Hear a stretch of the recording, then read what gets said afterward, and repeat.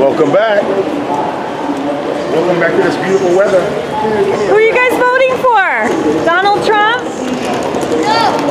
Thank you. You're great. Hillary Clinton, Donald Trump. Oh, this is the Dodge.